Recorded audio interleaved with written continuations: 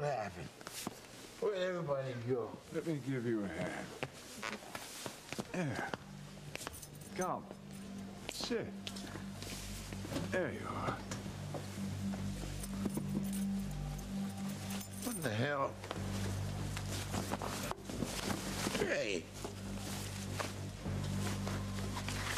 You give me that back. This is mine.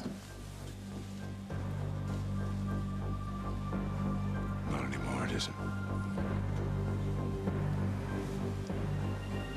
you ever try anything like this again, I will kill you.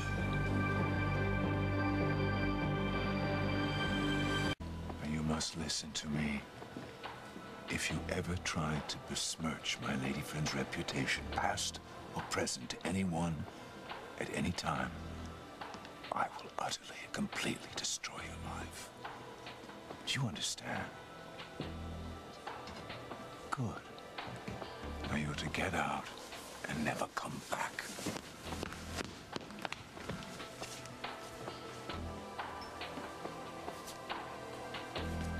I don't get it. How does a whore get so respectable while keeping a past secret from her husband?